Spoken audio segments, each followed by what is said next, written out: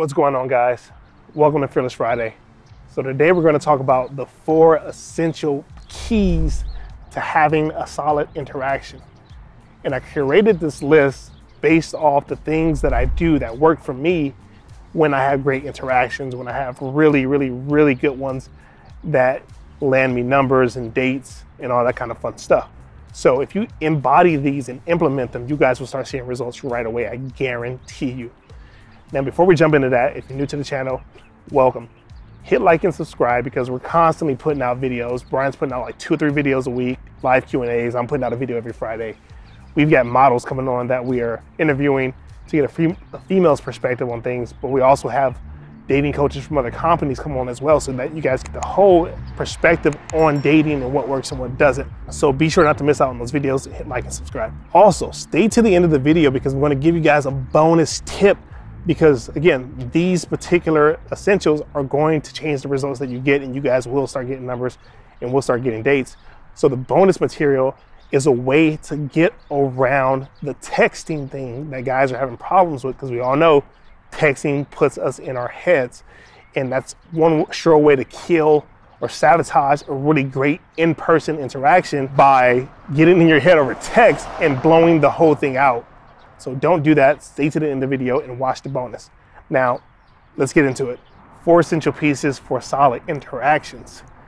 Now, the reason I curated this list like this is because I look at the way I do my approaches and when I have success, what things are working for me, right? And the first thing that's always working for me is that I'm always feeling my feet, right? I'm always feeling the ground beneath me. So I'm always grounded to the earth and not up in my head, not up in my chest, not high in my body. I'm feeling the ground beneath me and I'm relaxed so that when I walk up to a girl who might be nervous on average, which, which they actually are nervous a lot of the times, and I know a lot of us guys don't see that because we're like, we don't think that they will be nervous to talk to us. But it's actually not true. A lot of the times they're actually nervous. So, in order for me to ground their nervous energy, I have to ground myself, which means that I have to keep my awareness or my consciousness on my feet so that I don't go up into my head and start thinking about what to do next and thinking about what to say. The more rooted I am into the ground, the more solid I feel in the interaction the more slowed down my speech becomes, the more in tune and present in the moment I become. And those things are definitely noticeable to women when you're talking to them. They know that when a guy is a little bit racier, or he's talking fast, or he's in a rush, he feels a certain way versus the guy who feels his feet, who feels his leg. Think about sports athletes. They're very embodied, right? They take their time, they speak slow. It's because they're feeling their body, they're enjoying it. And that's what the feet do when you feel them. So a great way to do that is to bring your conscious awareness to your feet. You can even do it in a way where it's like, right now, think about your big toe. Think about the big toe on your right foot and just think about it. And just notice how all of a sudden you start to become aware of that big toe a little, a little bit more. You start to feel the sensations in it. You start to feel a lot more in that toe than you were before I mentioned it. Now try like your left pinky toe right? Now notice how all of a sudden that toe is starting to turn on. This is how it works. When you're in an interaction, you want to feel your feet on the ground, your feet on the earth, or the feet on the soles of your shoes. So it takes you out of being in your head because there's nothing worse than being in your head when you're talking to somebody because you're not present, because you're probably worried about what's going to happen next, the awkward silence, a whole host of things that you shouldn't be worried about. You should be present. Now, the second thing, which is also very, very, very important, is become an emotional listener. Brian literally just did a video on this a couple a couple days or a couple weeks ago. Go back and watch it. Find it and watch it. Emotional listening or being a good listener is essential to finding what to say next. But it's also essential in letting the girl know that you're present with her and that you're there and that you're not trying to bombard her or push on her and just keep trying these different techniques that don't work. The more present and the more affected you are by what she's telling you, like she's telling you a sad story or an exciting story, and you let that into your body and you start feeling that sadness or that excitement, and you respond from that place of feeling, it's going to have so much of a greater effect on her. She's going to want to talk to you a lot more, right? Now, if you're going into your head, you're cutting off your ability to feel your emotions. So don't do that. Slow down, let her words affect you, and respond from a place of feeling. Okay? That's what's going to work for you guys. That's going to make the girl want to talk to you and want to get to know you more and start asking questions about you because all of a sudden she becomes curious about you and why you are so good at listening. Because you're a lot different than most guys when girls are actually talking. Okay? So let that one settle in. Practice this one, especially. Now, the third thing here pairs with the last thing we talked about, and that's curiosity.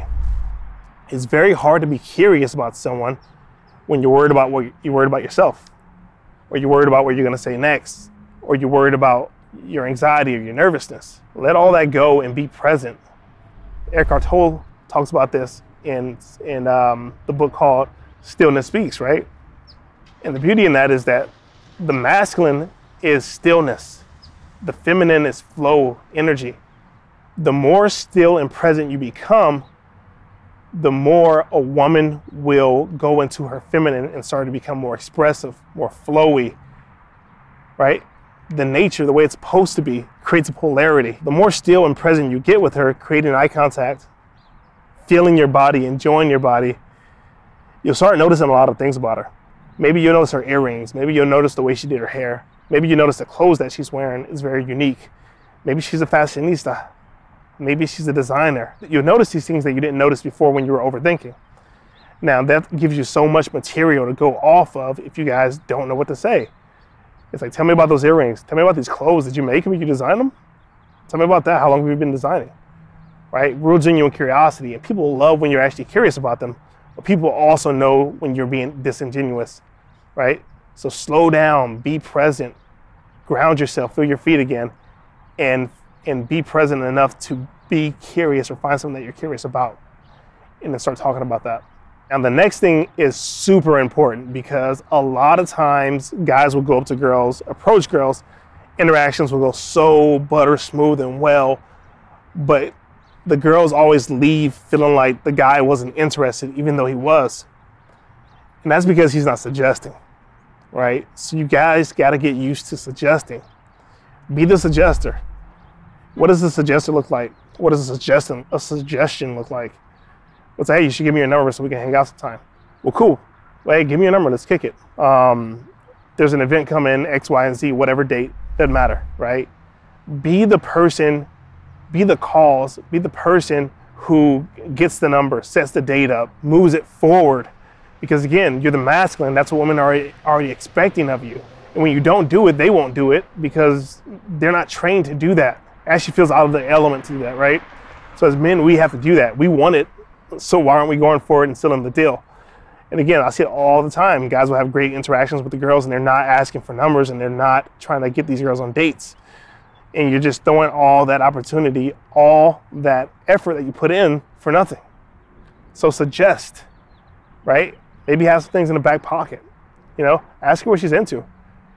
Maybe she's into throwing a frisbee around at the park, hanging out, having picnics, coffee, boba, tea, you know, a walk on the beach, something like that, hanging out. It can be anything, but be the person who suggests it, okay? The more you do that, the more you increase the chances that something's actually gonna happen for you, okay? I hope you guys enjoyed that. Now, start implementing all four of these things on a daily basis. If you're going out and you're doing three approaches a day, implement each one of these in your approaches. Feel your feet. Become way more present with the person that you're talking to. Get out of your own way right? Become an emotional listener. Be curious. Suggest, ask, get the number. Okay?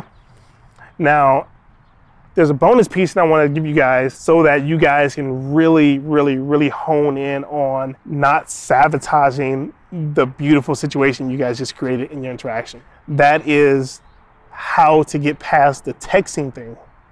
Like a lot of guys have anxiety about texting they'll have great interactions with a girl, but when it comes to the actual texting part of it, they sabotage all that work that went into that great interaction because they got into their head about texting. Here's how you do that. Tell her that you're old fashioned and that you prefer calling. Girls love that, right? Because there's a bit more tension in talking on the phone with a person, but there's a lot more perks to talking on the phone versus actually texting them. Now, if you start calling them on the phone, they'll instantly remember why they liked you in the first place. Because in a text, they won't remember your voice. In a text, they won't remember any of that.